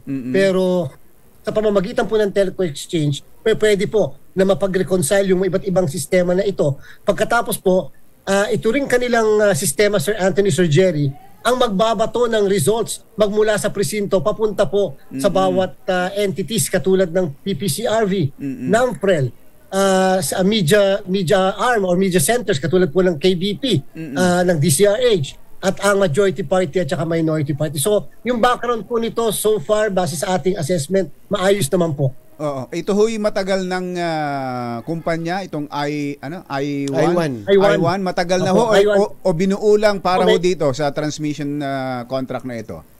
Hindi po, medyo matagal na rin po sila yung kanilang kumpanya at pagkata ang medyo ang bago po yung joint venture na yan. K- Kasi po hindi lang po siya I1, may kasama po siyang isa naka-joint venture. Yan po yung bago-bago pero po yung parehas na kumpanya doon sa member ng joint venture, matatagal na po sila sa industriya. Magkano po ito, Chairman? Magkano ang gagastusin natin dito sa transmission? 1.4 million po ang ating pong ah, ang, ang, ang kanila po naging presyo, ang kanila po naging bid price. Oo. Samantalang yung second bidder po ay 1.6 million. Yung naging ah, billion, 1.6 billion yung pong naging ah, bid price naman po nila kaya mas mababa po siya kumpara do sa isang nabanggit pa po natin. Mm. Pero pag ito total po ang buong gastos natin sa transmission at dun sa mismong Buto- ah, ba- sa, sa botohan, sa dun sa isang ah, ano, Miro, eh, ah, Magkano total? Opo. Magkano po total at kung ikukumpara natin sa nakaraang eleksyon, eh, gaano ho ba itinaas, inilaki ng gastos natin? Sir Anthony, Sir Jerry, ang total uh, budget po natin na nakalagay sa ating General Appropriations Act ay almost 22 billion. Yung pong ating uh, as hardware and software which is yung renta ng machines 110,000 kasama yung ibang peripherals katulad ng balota, ballot boxes, uh, laptops at napakadami pa. Yan po ay 17.88 plus 1.4 billion. So more or less po mga 20 billion po lahat. So tayo po kasi noong uh, nag-procure tayo ng mga makina sa pamamagitan ng lease na tinatawag, nakatipid po tayo ng 800 million. Dito naman po, doon sa pagbibigay natin ng award sa I1, nakatipid naman po ang gobyerno ng almost 200 uh, billion pesos. Ang 200 hinihintay billion. po natin na procurement sa kasalukuyan ay yung po naman procurement para sa ating internet voting. Ah, so nung kumpara po nung nakaraang 2022, di hamak po na malaki ito sapagkat noong 2022, Sir Anthony, Sir Jerry, tayo po ay nag ah, tayo po ay meron na kasing ah, mga machines na 97,000 yung po natatandaan nyo binili ng Comelec noong 2016. Yung po yung mga medyo pumalpak ng mga makina sapagkat ah, medyo matatanda na ng mga makina po. At ah, ang nag-rent lang po ang Comelec noon ng dagdag na 10,100 na makina. So ngayon po hindi po, ngayon po wala tayong binibili, buong list po ito ng lahat ng makina po. Napakamahal talagang mag-eleksyon ho dito sa atin, ano, Chairman? Tama po kayo, ah, Sir. Anthony, Sir Jerry. Alam niyo po, sa isang barangay and SK elections nga po, 13 billion ang kailangan natin. Sa isang national and local elections na merong automation, kita niyo po, 22 billion yan. Hindi yan po ay preparatory lang. Papaano po pagdating ng 2025 election? Iba pa po yung budget doon. Aabutin po tayo ng mga 25 billion sapagkat ah, malaki po ang component yung ating pambayad sa ating mga mahigit isang milyon na guro na gagamitin natin sa ating eleksyon. Opo. Actually po, um, ah, mukhang meron pong naghahabol pa rito sa ah, kontratang i- ginawad po ninyo sa Miro. Ah, kung di ako nagkakamali, bukas eh, magpa-file ng ah, petition para po sa injunction, petition for injunction. Ito pong si former Congressman Egay Erice. At ah, gusto po nilang ah, awating kayo sa ah, mga aktibidad ah, with ah, Miro. Ah, kung sakasakali po, ito po naman ay hypothetical lamang, kung sakali po na ang husgado ay maglabas po ng TRO o injunction, how will this uh, affect uh, the conduct of the preparation? Ah, Sir Anthony, Sir Jerry, baka po kasi masabi na tayo nag-impluensya. Although wala pa naman sa kasalukuyan na kaso Opo, opo. na naipafile. So wala pa tayong subjudice. Speculative pa lang yung magpapile by tomorrow. Opo. At ah, kung sakali po, baka po hindi tayo makapag-automate ng eleksyon ng 2025. Sapagkat alam niyo po, napaka-critical yung bawat araw sa ating pong timeline. Kaya po talagang sinigurado namin yung bawat araw ah, dahil po, alimbawa yung manufacturing po, Sir Anthony, Sir Jerry ng makina, anim na buwan po yan eh, nagagawin dyan po sa South Korea.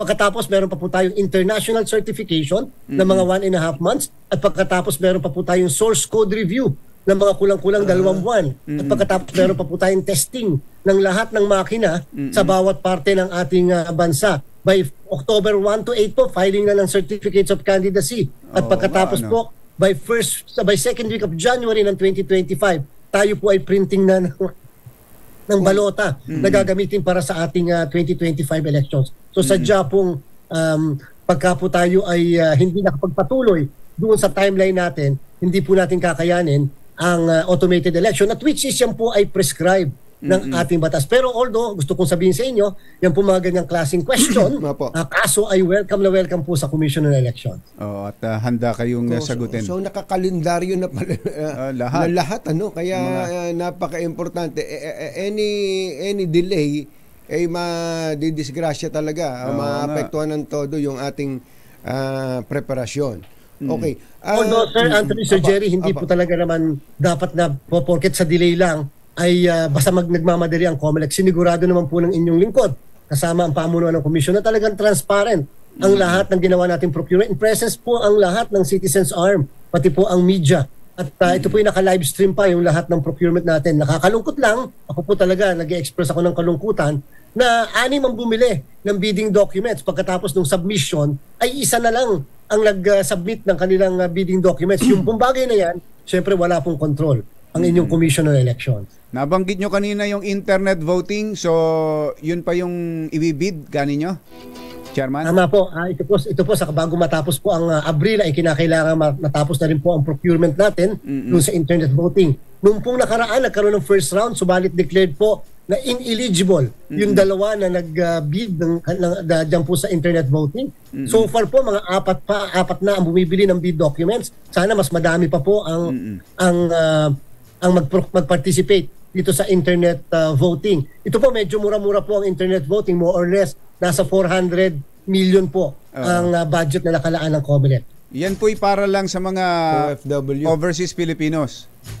Sa ating po mga kababayan sa abroad, ah, meron po tayong 92 post abroad, subalit meron po tayo Sir Anthony, Sir Jerry, labing pito na bansa na hindi po kasi pumapayag gumamit ng internet katulad po ng China, Russia, Libya, ah, Israel, yan po yung mga at ilan pang mga bansa na hindi pumapayag na gumamit. Kaya po dyan, mga machines pa rin ang ipadadala po natin doon, yung po machines na rerentahan natin. At uh, more or less po baka gamitin natin doon ay yung touchscreen technology, yung parang nasa ATM para sa mga kababayan natin abroad. Pwede ho kayang dumating ang panahon na lahat tayo eh, internet voting na lang, ah, Chairman? Ah, mas maganda po ay dahan-dahan ako po mas pupursigi ko ang internet voting sa ating mga vulnerable sectors lalo na po Sir Anthony, Sir Jerry sa mga nakatatanda, sa mga may kapansanan, mga Yan. nagdadalang tao para hindi na po sila masasabay pa Kaya sa karamihan sa pagboto, maiinitan, pagkatapos si minsan nila sasaktan pa. Kaya mas maganda. Alam niyo po, pinagkakatiwalaan na nga po natin ngayon para kahit po internet banking eh.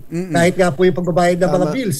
Basta po secure at ah, transparent ang eh. sistema, ang importante basta protektado ang boto. Wala pong ah, malalabag na batas kung kung ah, tayo ay gaga- kung gagawin natin na ang botohan sa atin ay ah, internet, ah, Chairman. Wal- Wala naman po pero tayo po ay magpupursige na sana magkaroon na nga talaga ng isang ah, ng pagbabago, pagsususog ng pagbabago sa pagboto ng ating mga kababayan na hindi lamang ma- manual kung hindi yung mismong paggamit ng internet. Pupursige po natin. Katulad po itong ating internet voting para sa ibang bansa. Ang COMELEC po ay nag-interpret base po sa umiiral na batas sa overseas voting na eh, pwede naman talaga maghanap ang COMELEC ng ibang pamamaraan ng ah, pagboto. Mm. Dati Eh, nga kumbachero, ang pinag-uusapan natin, text lang eh. Oh. Yung gusto namin ni kumbachero noon na 20 Text years lang. ago, mag-text na lang eh. Ah, tiyakin lang na ah, protektado yung SIM card ng bawat isa. Nakaregister sa ah, ang ah, SIM card sa bawat ah, botante Mm. eh, para hindi na naiinitan. Eh, kita nyo, yun na pala ang direksyon nyo ngayon. na ngayon. O- online na. Online na Oo, voting. mm. Eh, maibida lang namin, Chairman, hindi lang kami nakakauwi pa ulit Sa- ni eh, sa, Washington. Atin, sa atin sa Amerika. sa atin sa atin sa Amerika sa Washington. Eh doon nga eh ang election hindi lang isang araw. Oo. Ang dami, Ah, maraming araw. Oo. May, may isang linggo yata o isang buwan at ah, through mail, pwede sila through mail o through internet. So s- ulitin ko, so yan ay kino-consider na rin ninyo, Chairman, yung internet voting hindi lamang sa overseas Filipinos kundi dito mismo sa atin sa Pilipinas. Tama po. Ah, actually po sa ating pong mga kababayan abroad, ang pagboto po nila ay isang buwan. Ah, isang buwan po bago mag-eleksyon, ganyan po kahaba ang pagboto para masigurado na mga kababayan natin na makakaboto. Kahit pa nga, internet voting siya. Eh, pwede po na bumoto sila na mas maaga. Kaya lang, syempre yung pagbubukas ng results ay gagawin sa mismong araw lamang ng eleksyon. Tama po kayo. Ganyan na po patungo yung atin na katulad po sa mga pinanggalingan natin mga bansa sa tayong tatlo, eh yan po yung patungo na natin. Kinakailangan tayo ngayon ay uh, yung technology kasi. Pero siyempre po, Sir Anthony Sir Jerry, ito po ang pakiusap ko. Gagamitin ko na po ang pagkakataon ng inyong uh, programa. Pakiusap po sa mga kababayan natin. Alam niyo po ang makina, ang teknolohiya, yan po ay teknolohiya makina. Yan po ay hindi hindi po yan uh, uh, hindi po niya kayang ma-check yung mga irregularidad outside ng makina. Halimbawa po, vote buying terrorism, violence, ang bumoboto hindi mga kababayan natin, hindi mga botante. Ang nagsishade ng balota, mga politiko na lang, tinatakot yung mga kababayan, binabayaran. Hindi po kaya madistinguish ng makina yan. Yan po ang pagsamasamahan natin pagtulungan dahil sa bandang uli po, ang makina will only read kung anong ipinasok sa kanya. Pero hindi niya kayang sabihin si Juan, si Maria, si Jose pa talaga ang bumoto sa mga balotang yan. Mm-mm. Basta ang gusto lang naming mag- magarantiyahan nyo sa amin, uh, uh, Chairman, ay uh, walang mangyayaring manipulasyon sa makina, sa source code, etc. Kasi yun po ang naging problema ng Smart Magic, Ma- Matic eh. Nung uh, araw, lagi na lang uh, nakakantyawan yung Smartmatic na uh, minagic, Minagic. yung resulta ng halalan. Ito naman daw Miro, Mirong Daya. Oh, mi, mi, Oo, may Mirong Daya. na gano'n. Anthony, Oo, opo. Sir Jerry, Opo. napakadami po nating nilagay ng mga pamamaraan para ma-countercheck. Kita niyo po, bigyan ko lang po kayo ng maiksing-maiksing ah, explanation. Sa mismong presinto, meron pong initial na walong election returns na ipiprint ang machine. At ah, yung pong ah, isa sa mga isa sa mga election returns ay ipapaskill sa labas ng presinto. Pagkatapos po Sir Anthony Sir Jerry, may yung pong resibo na piniprint ng makina may QR code, yung pong NAMFREL at PPCRB ay magkakaroon ng paraan para po ma- ma- makuha nila yung QR code at ma- initially na andun po sa QR code ang lahat ng results. Ang botante makikita yung boto niya pagkatapos maihulog ang machine sa machine ang balota meaning malalagay po sa screen na naandun sa mismo sa mismong machine yung lahat ng boto para makita niya. At ang pinaka-importante po naka-send to all Sir Anthony Sir Jerry ang results mula sa presinto. Ibig ko sabihin PPCRB, NAMFREL, KBP majority party, minority, nakasend to all, naka, para kung naka-text to all.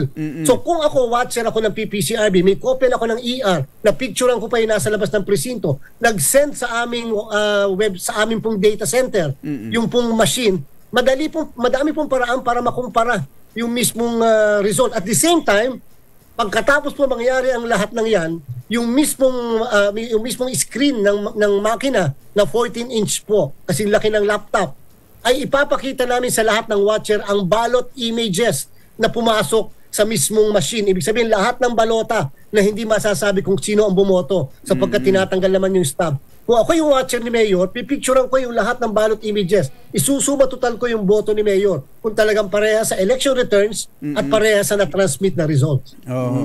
Dati ho mayroong ano eh, 'di ba kung Bachero, may, tama ba kung may dinadaanan pa from uh, precinct dadaan sa, City Hall. Transparency server. munisipyo. Transparency server po. Oo, may dinadaanan sa munisipyo, ah, sa um, sa ah, ah, kumbaga may layer, Ah, may ngayon- layer. Ngayon po, Chairman, from precinct direkta kaagad sa sa nang ah, takbo kaagad ng transmission. Opo. Bali po, pag sa, mula sa presinto, wala na po tayong transparency server ngayon. Natatandaan niyo po, dyan nagka-problema, nabulunan. Oo. Ang transparency server, ilang oras na hindi nakapag-send ng uh, results, nagkaduda ang sambayanan. Ngayon po, mula sa presinto, kung tayo magkakabarkada, nakasend to all lahat sa atin na yung lahat ng results. Ibig sabihin po, ah, maka- matatanggap mo kaagad uh, Sir Anthony, matatanggap niyo Sir Jerry, matatanggap kaagad ng iba pang entities ng sabay-sabay yung results. Wala nang dadaanan na transparency server. Ibig, at pati po yung mani- municipal and city board of canvassers. So Wala ako na yun. po, Oo. ang uh, NAMFREL, ika-counter check ko ngayon sa DCRH, sa kanilang web, sa kanilang ah, ah, ah, sa mismong server nila. Ano ang natanggap niyong result sa precinct 1A? Doon naman sa majority party, minority party. Ano ang natanggap niyong result? Magkakaroon na ngayon ng comparison kasi po pare-pareha silang nakatanggap at the same time. So from precinct, ilan po kaagad na pupuntahan? Comelec, ah, NAMPREL, Com- Comelec, Opo, COMELEC, NAMFREL, PPCRB, K- Majority KBP. Party, Minority Party, at yung media server. KBP. Kasama po ang kapisanan ng mga broadcaster ng Pilipinas. So anim. Anim kaagad yung uh, ma, ma, ma, mapap- Saka pagka, mapapadalhan pagka from merong pagka merong isang pumalag doon, oh mali yung- iba yung bilang namin dito. Ah, yun, yun ang ah, count, yun ang Madaling ah, ikumpara kaagad. ah, ah, check Madali and po. balance. At ah. madali rin pong ikumpara nung mismo may watcher na ni Citizens Arms sa mismong presinto. Teka muna, bakit siya na na-transmit? Eh may copy ako ng election returns na, na, na print ng mismo makina na nakapaskil sa labas ng presinto. Kitang-kita po. At para malaman kung talagang parehas, yung na-transmit at yung na-print na election returns ng makina. So ma- malilesen yung uh, mani- yung uh, mga sospecha ng manipulation gamit ay technology kapag ganong na-rekta kaagad ano chairman. Ano po, at uh, the same time, makikita po nila yung mismong picture ng balota na inihulog ng mga botante at the end of the voting, counting and transmission. Opo. Chairman, Chairman, salamat, po sa salamat oras. po. At ah, basahin niyo muna yung mga libro natin dyan. Opo. Thank you. Maraming maraming salamat po sa inyong dalawa. Buhay po kayo. Mabuhay po kayo. Mm. Chairman uh, George Garcia ng COMELEC. Mga nangunguna at mga bagong balita sa DZRH. Pangunahing balita. Ginebra, San Mga nangunguna at mga bagong balita sa DZRH. Pangunahing balita.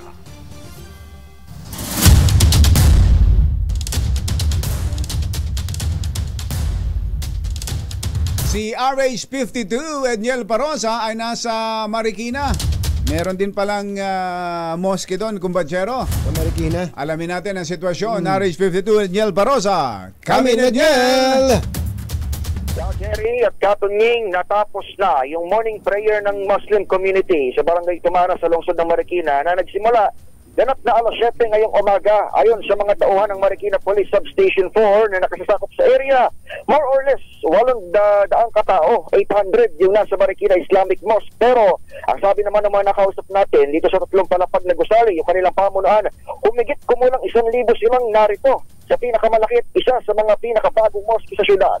Napuno itong bahay simbahan kung saan yung mga babae nandun sa third at second floor habang yung mga kalalakihan naman ay nasa ground floor hanggang sa hallway at sa labas. Dumating din kanina isang dating kongresista dito sa Marikina. Naabutan natin pati kanyang mga tauhan ang binabanggit na mahagi sila rito ng food stub sa leader ng Muslim community kagabi. Aabot sa isang libong food stub ang kanilang ibinigay na mapapalitan ngayong araw. Makalipas nga itong panalangin para sa itil fitir o yung pagkatapos ng isang buwang pag-aayuno para sa reliyong Islam. Para sa kaunaunahan sa Pilipinas, DZH, ito si Edniel Parrosa. Tuloy-tuloy sa pagbabalita, tuloy-tuloy sa serbisyo. Sama-sama tayo, Pilipino. Thank you, Edniel. Ay, baka may mga problema na sa inyong mga bahay ha, tulad ng bubong. Buti na lang, may bubong na maasahan. Gawa sa state-of-the-art technology. May aluminum na. May pintura pa. Now available na rin sa pre-painted tile span. Ah, para sa eleganteng bubong na matibay na makulay pa. Loom pre-painted ka na! Good morning, Kuya Romel City. Kuya Romel. Ang uh, all-new Cherry Tigo 5X Pro Hybrid, ang pinakabagong uh, hybrid vehicle na makakasama mo sa pang-araw-araw na biyahe o pam- uh, with your family o barkada, eh andito na. Yun.